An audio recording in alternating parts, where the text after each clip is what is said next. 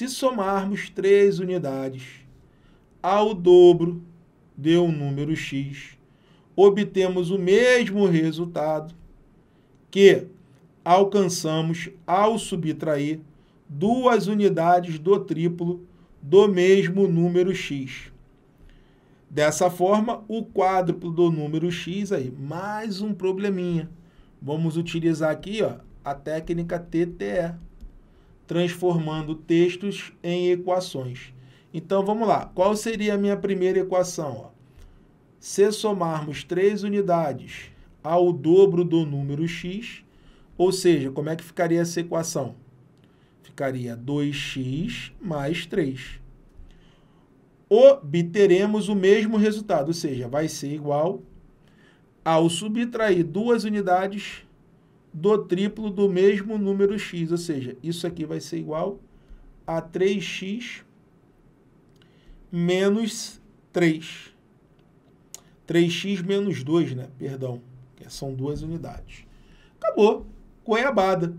Tinha teteca, letra de um lado, número do outro. Então vai ficar 2x menos 3x igual a menos 2 menos 3. 2x menos 3x vai dar menos x. Menos 2 com menos 3, menos 5. Aí você vai multiplicar pelo famoso menos 1, vai ficar x igual a 5. Só que ele está querendo o quádruplo né, desse valor. Então, 4x. Então, 4 vezes 5 vai dar quanto? Vintão. Marco o V da vitória. Opa, gostou dessa dica?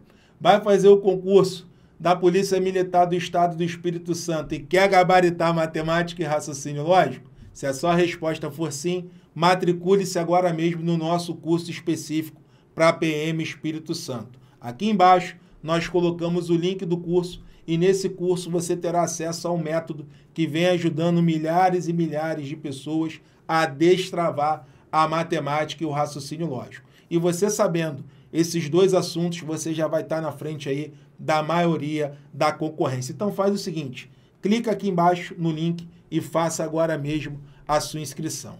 Beleza? Matemática é o quê? Para passar. Te espero lá nas aulas. Um abraço.